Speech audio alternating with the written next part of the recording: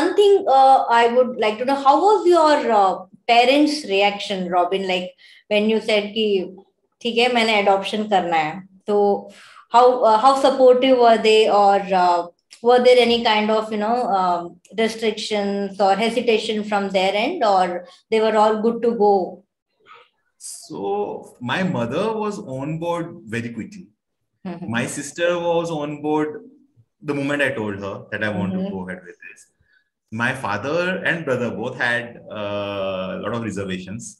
Um, so i talked to my father for a very long time. I made sure i i tried to convince convince him for very long.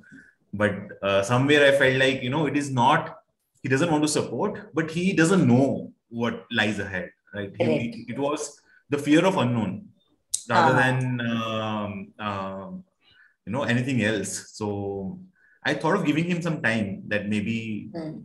uh, once he's able to soak in all this information he might be able to handle it more properly.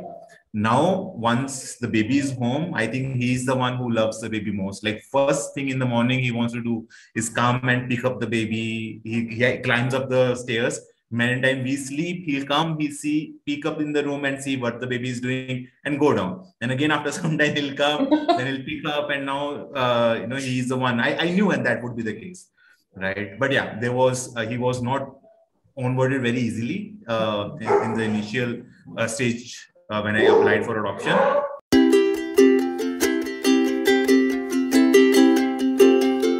Right, I want to adopt a baby. It's my choice. It's my life. I'm going to adopt a baby. Right, I want him to have a full family. Right, I don't want him to only have a father. He should have a, a grandfather, grandmother, uncle, aunt, everyone.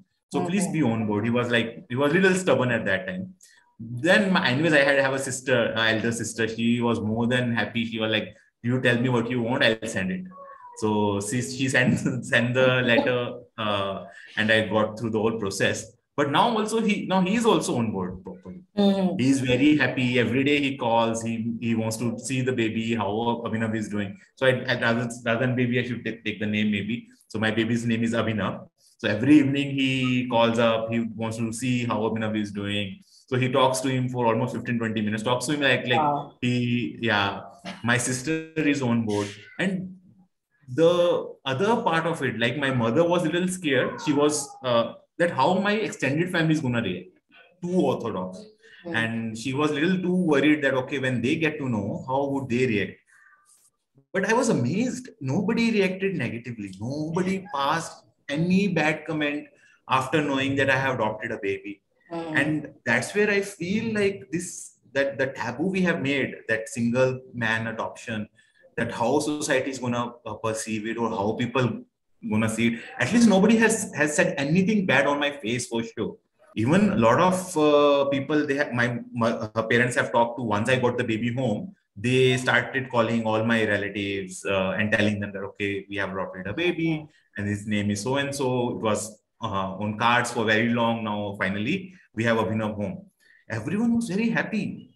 Everyone was calling me, congratulating me, and I was I was kind of shocked to be honest that okay, this is not what I expected in the beginning. This uh, taboo so is, I think, very soon it's going to you know like um, wipe off because I think uh, if I talk about 10, 15 years back, even love marriages had the similar kind of taboo yeah, now yeah. it is like kind of uh, you know like not much like now you yeah. see anybody say yeah fine intercaste marriage interstate marriages even interreligion marriages are like kind of seen okay acceptable.